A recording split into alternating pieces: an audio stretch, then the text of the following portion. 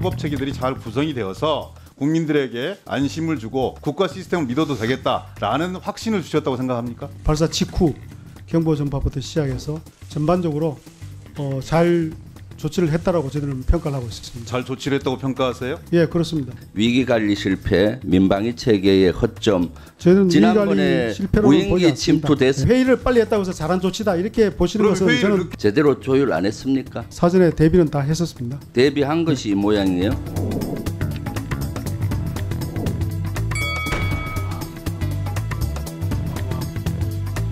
전반적으로 어, 잘 조치를 했다라고 저희들은 평가를 하고 있습니다. 잘 조치를 했다고 평가하세요? 예, 그렇습니다. 저는 군의 대처에 대해서는 일정하게 평가하는 부분들이 있지만 군이 군만으로 존재하는 것이 아니라 유관기관과 함께 협업해서 국민들의 생명과 안전을 지켜야 되는 건 책임에서 자유로울 수 없기 때문에 그런 후한 평가를 하는 것은 저는 국민들을 되게 아, 무시하고 국민들의 일반 정서와는 동떨어진 그런 진단이라고 생각하는데요. 전혀 그렇지 않습니까?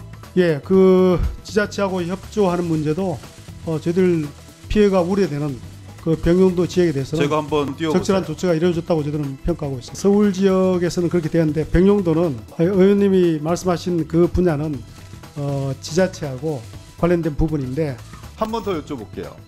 문자 메시지 수신하셨어요? 수신했습니다. 예. 어떤 생각이 드셨어요? 어, 그뭐 여러 가지 생각이 들 수 있다고 봅니다.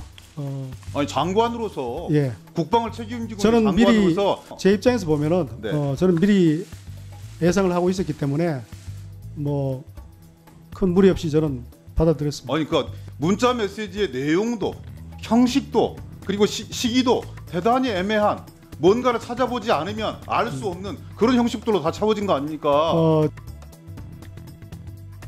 저희들이 군과 직접 관련된 부분은 백령도 지역에 대한 경격 어, 그러니까 경고 발령입니다. 말씀드린 나라를 이렇게 해놓고 나라의 국방을 이렇게 해놓고 대한민국의 경제를 이렇게 해놓고 책방지기 이종섭 국방부 장관께서는 이 허물어진 비정상의 안보 문제를 정상화 시켜야 된다고 보는데 동의하십니까?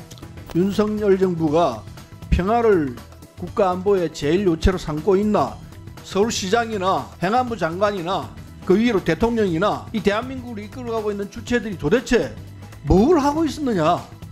모든 의원님들께서 좀 지적을 하셨지만은 서울시에서 어제 아침에 그 경계 경보 올린 것에 대해서 좀 미숙한 점이 많이 있었지 않습니까? 이번에 드러난 문제점을 잘 파악을 하셔가지고 육하 원칙에 의해서 문자 메시지도 이렇게 간결하게 이렇게 좀 보내주시면은 그리고 국민들이 조금 더 심리적으로 좀 더 안정적으로 대처할 수 있지 않을까 저는 그렇게 생각을 합니다. 좀 그렇게 해주시겠습니까? 어, 이 부분에 대해서는 취약하다는 걸 저희들 어느 정도 뭐 어, 필요한 부분에서 보완을 하고 어, 발전시켜 나가도록 할 계획입니다. 예, 앞으로 그 대처 잘해 주시기 바라겠습니다.